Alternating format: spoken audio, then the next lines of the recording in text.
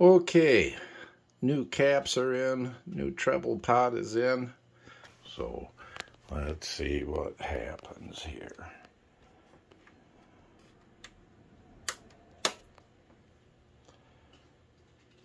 And I might have taken the fuse out. So we'll be back. All right, new caps are in, new pot for the treble is in, a fuse is in. We're going to turn this thing on and see if it smokes or makes sound. So hopefully not smoke because once the smoke gets out you can't get it back in. And maybe the bulb is burnt.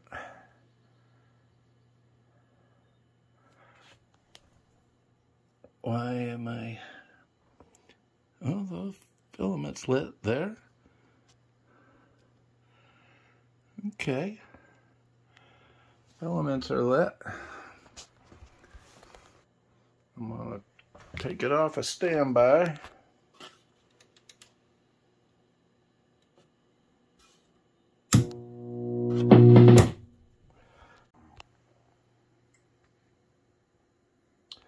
Well, okay then. We've got the most critical repairs made.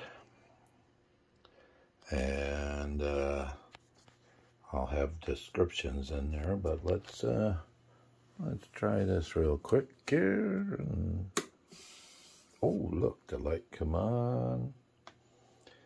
This shouldn't take too long because I only just turned it off.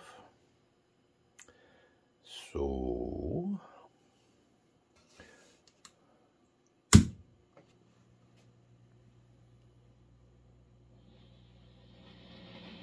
So there's some there's some crackle in there, but this is 7 out of 10 on the volume.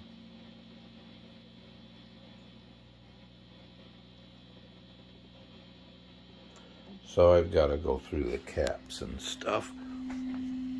But